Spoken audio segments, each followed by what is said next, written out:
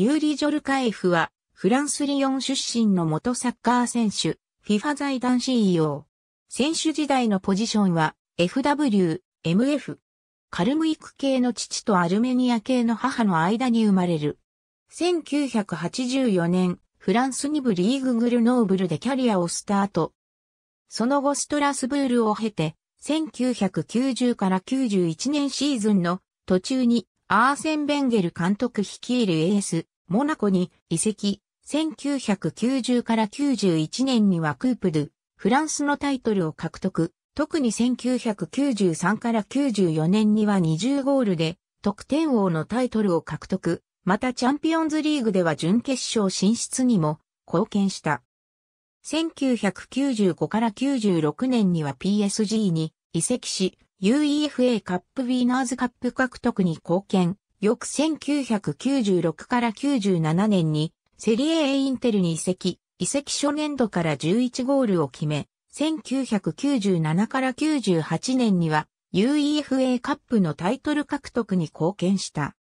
1998から99シーズン2月7日第20節のエンポリ戦でハットトリックを達成。これはインテルに所属したフランス人プレイヤーとしては、初めてのハットトリックであった。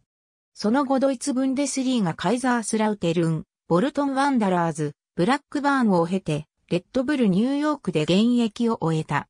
2006年10月30日、メジャーリーグサッカー、プレーオフにおけるチームの敗退を受け、そのまま引退を表明した。38歳になった彼は、怪我により、最後の試合には出場していない。フランス代表では U-21 代表を経て、1993年10月13日、イスラエル戦でデビュー、1994年2月16日、イタリア代表との親善試合で代表初ゴールを決めた。ワールドカップと欧州選手権にそれぞれ2回ずつ出場。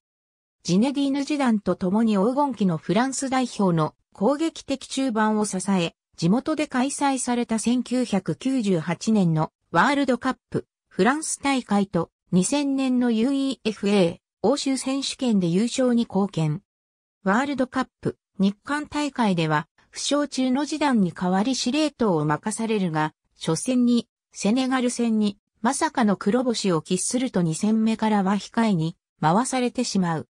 終盤の約10分間だけ出場した最終節デンマーク戦にも敗れ、フランスはグループリーグ敗退、それが代表最後の試合となった。フランス代表通算82キャップ28得点。父親のジャン・ジョルカエフも元サッカー選手で、フランス代表として1966年の FIFA ワールドカップイングランド大会に出場、後に監督となりアルメニア代表監督を務めた。2014年、ブラジル W 杯、フランス TV 局 TF1 専属コメンテーター。2019年9月に FIFA 財団の CEO に任命される。